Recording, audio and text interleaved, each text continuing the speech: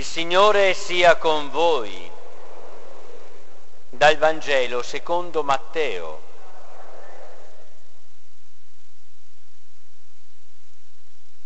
Nato Gesù a Betlemme di Giudea al tempo del re Erode, ecco, alcuni magi vennero da Oriente a Gerusalemme e dicevano, dov'è colui che è nato, il re dei Giudei? Abbiamo visto spuntare la sua stella e siamo venuti ad adorarlo. All'udire questo il re Erode restò turbato e con lui tutta Gerusalemme. Riuniti tutti i capi dei sacerdoti e gli scribi del popolo, si informava da loro sul luogo in cui doveva nascere il Cristo. Gli risposero a Betlemme di Giudea perché così è scritto per mezzo del profeta, e tu, Betlemme, terra di Giuda, non sei davvero l'ultima delle città principali di Giuda. Da te infatti uscirà un capo che sarà il pastore del mio popolo Israele.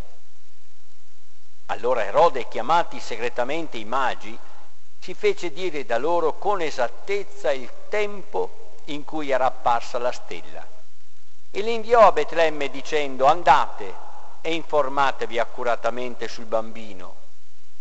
E quando l'avrete trovato fatemelo sapere perché anch'io venga ad adorarlo. Udito il re, essi partirono. Ed ecco la stella che avevano visto spuntare li precedeva finché giunse e si fermò sopra il luogo dove si trovava il bambino al vedere la stella, provarono una gioia grandissima.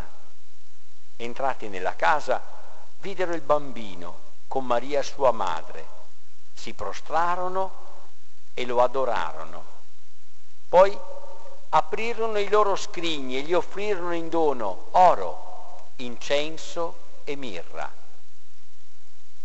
Avvertiti in sogno di non tornare da Erode, per un'altra strada fecero ritorno al loro paese. Parola del Signore. Vi invito a rimanere in piedi, scusate, ma oggi è un giorno bello, importante e la Chiesa ha un annuncio da farci. C'è la Pasqua. Questa festa lega direttamente alla Pasqua, alla risurrezione, alla luce. E allora ascoltiamo l'annuncio proprio del centro della vita cristiana che è appunto la Pasqua del Signore risorto.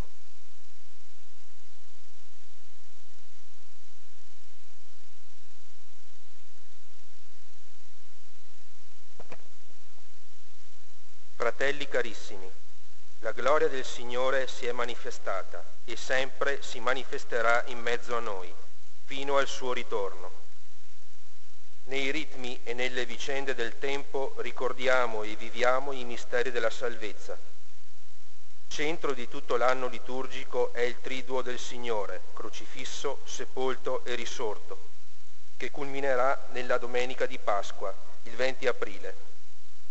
In ogni domenica, Pasqua della settimana, la Santa Chiesa rende presente questo grande evento, nel quale Cristo ha vinto il peccato e la morte. Dalla Pasqua scaturiscono tutti i giorni santi, le ceneri, inizio della Quaresima, il 5 marzo, l'ascensione del Signore il primo giugno, la Pentecoste l'8 giugno, la prima domenica di Avvento il 30 novembre. Anche nelle feste della Santa Madre di Dio, degli Apostoli, dei Santi e nella commemorazione dei fedeli defunti, la Chiesa pellegrina sulla terra proclama la Pasqua del suo Signore a Cristo che era, che è e che viene, Signore del tempo e della storia, lode perenne nei secoli dei secoli. Amen. Amen.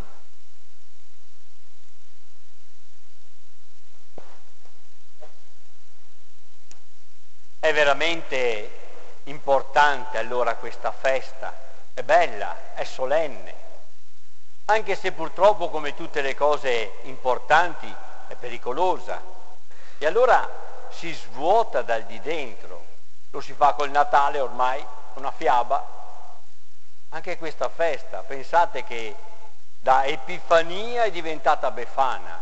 Questa parola, sapete, svuotata dal di dentro. E allora è quella vecchierella che porta i doni. Ma Epifania vuol dire invece qualcosa di grande, vuol dire un Dio che non si tiene per sé e neanche per un piccolo gruppo, è il Dio di tutti. C'ha un amore grande questo Dio che raggiunge l'universo. Ve lo dico in un altro modo, perché non è solamente un Dio che vuole arrivare fino all'ultimo angolino della terra. Non c'è peccatore che non possa godere dell'amore di Dio.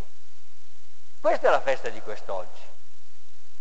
Chi è il più peccatore tra di noi sappia che anche lui è toccato da questo amore di Dio. Perché siamo tutti invitati a trovare la luce, la salvezza. E Dio, prima ancora che noi lo cerchiamo, ci ha già trovati, ci ha già presi per mani, si incontra, tutti. Non c'è nessuno più o meno privilegiato o più o meno... No, tutti quanti riempiti da questo Dio immenso. Ed ecco allora la pagina scritta da San Matteo, che noi la leggiamo come una fiaba, no? Questi magi che vengono da distante, ma immaginate, quando è stata scritta ha messo in crisi tutta la comunità. Matteo, che cosa scrivi? Sei pazzo? Noi li abbiamo addirittura, come vi dicevo, no? tradotti in modo così. Matteo ha scritto non magi, ha scritto maghi, sono dei maghi questi, per dire proprio gente pagana, e pagana vuol dire senza Dio, e ancora di più, voleva proprio rincalare la dose, gente proprio immersa nella magia. Nel primo catechismo della Chiesa, che si chiama Didache, ci sono descritti tre peccati gravissimi il primo è rubare, il terzo è aborto, abortire, e in mezzo sapete che cosa ci sta? La magia. Quindi immaginatevi, quando San Matteo ha scritto questa pagina qua, gli hanno detto quale lenda gli è demato? Ma come? Questi maghi che vengono e incontrano. E Matteo sapeva che cosa diceva diceva proprio un amore di Dio talmente sconfinato da avere accesso da tutte le parti potevano venire e incontrarlo. Dopo noi, ripeto, li abbiamo addirittura resi magi, eh? perché insomma gli abbiamo messo una corona in testa, no, gli abbiamo, sono diventati quei saggi. No, no, no, no, niente di tutto questo, sono proprio coloro che indicano eh, i più lontani, i più diseredati, i più che sono chiamati a trovare Cristo, perché sono già stati trovati da Cristo. Bellissima allora questa festa. Allora immaginatevi gente che segue che cosa? Una stella. Ma che cos'è la stella? È un segno. Sono genti che si sono lasciati eh, indirizzare da, se- da, da, da alcuni segni, ma quanti segni Dio ha sparso nella nostra vita? O anche allora, quando nasceva un bambino, dicevano è nato sotto una buona stella, lo diciamo anche noi, no? La buona stella, vuol dire tanti segni, tante indicazioni, basta saperle leggere. Ci sono tante indicazioni che ti dicono Dio è là, vai, solo che purtroppo noi non sappiamo leggerle. Pensate che Gerusalemme aveva un segno grandissimo, si chiamava Bibbia, ma non sono stati capaci di leggere la Bibbia. Questo mi fa pensare, sapete, io che la conosco, noi che la conosciamo, siamo nati in un paese cristiano, cattolico, fino in fondo. Stiamo attenti però, questo non è garanzia di incontro con Dio perché può essere che tanti altri popoli che hanno segni meno chiari possano raggiungere prima di me di te questo Dio. Bisogna saperli leggere questi segni. Tanto è vero che il segno quello lì, no, si ferma prima di Gerusalemme perché hanno paura là a Gerusalemme. E chi è che ha paura? Erode, ma anche tutta Gerusalemme, sono turbati. Erode perché ha paura? Perché ha il potere in mano, no? È insomma, è un re illegittimo, pensate che ha ucciso tre figli suoi, tre, per avere il trono. Quindi immaginatevi, quando gli dicono guarda che è nato il re dei giudei, adesso ha paura. E quindi si predispone ancora ad uccidere. Ma anche tutta Gerusalemme ha paura. Perché? Eh, si pensavano possessori di Dio. Ma cosa viene a fare questo qua? San Matteo non farà mai apparire Gesù a Gerusalemme proprio perché Gerusalemme si è chiusa alla luce eh? e quindi la grande luce che sarà la risurrezione non toccherà mai Gerusalemme. Indicativo anche questo. Eh? E appena usciti da Gerusalemme, i maghi di nuovo vedono la stella. Ah!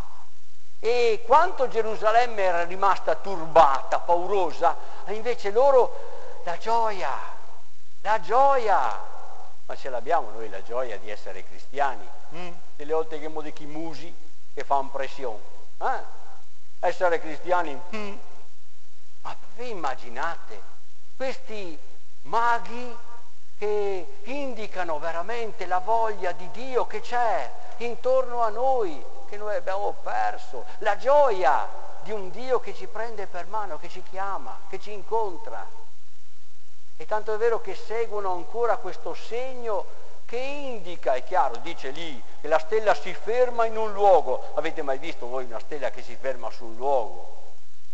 Allora vuol dire che c'è qualche cosa d'altro dietro, vuol dire che ci sono delle indicazioni che mi portano a Dio chiaramente, basta, ripeto, saperle leggere e fanno quei maghi le tre cose che siamo invitati a fare tutti quanti noi. Vedono, e poi si inginocchiano e poi adorano. Vedono, è chiaro, non è vedere con gli occhi questi, eh? noi possiamo vedere con altri occhi, con gli occhi della nostra fede e riconoscere in quel bambino il nostro Dio, tanto che si inginocchiano. Quanti di noi si inginocchiano davanti a tanti idoli, a tante divinità, magari l'abbiamo fatto anche in queste feste eh, natalizie, no? Quante divinità ci stiamo creando e adorano. È Lui il nostro Dio, il vero, unico Dio. E gli aprono anche i doni, bellissimi i tre doni che gli aprono, oro, incenso e mirra. Ma che cosa sono questi tre doni? Provate a pensare. L'oro che cosa sarà l'oro? È il nostro re. C'ha un regno. L'oro è del re. Ma non è il regno che pensavano quelli là di Israele di avere. Pensavano di essere loro, loro i possessori del regno di Dio, il regno di Israele. No, questo bambino che è nato è colui che ci porta un regno nuovo, è un regno di pace, di amore, di giustizia. È questo il regno a cui siamo tutti invitati a partecipare, un regno di riconciliazione, di perdono, di misericordia. Bellissimo questo regno di Dio. E poi l'incenso.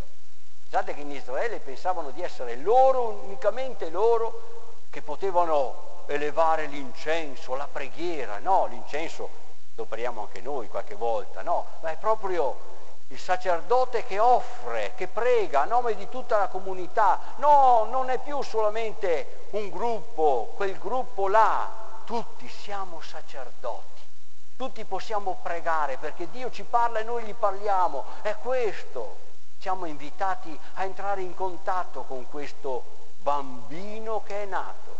E la mirra, la mirra era l'unguento che le spose mettevano il giorno delle nozze, un unguento particolare, profumato, proprio che diceva adesso ti sposo. Il popolo di Israele pensava di essere lui, l'unico eh, che sposava Dio, Dio ci ha sposati, siamo noi la sposa prediletta di Dio, ma che? Adesso tutti i popoli, Dio ha sposato, vuol bene, ama tutta l'umanità, altro che un piccolo gruppo. Capite che questi segni sono indicativi di una universalità che Dio ha per tutta quanta l'umanità. E come termina il brano? Dice che alla fine se ne tornano a casa per altre strade. Belli questi, eh? Perché nessuno pensi di possedere Dio. Adesso l'ho catà, adesso l'ho chiuso. Ma che? Dio non, non, non lo puoi comprendere, carissimo. Dio va sempre al di là, è un mistero ma è un mistero nel quale puoi immergerti, lasciati raggiungere da questo mistero e poi cercalo ancora, e poi cercalo ancora perché Lui continua a trovarti.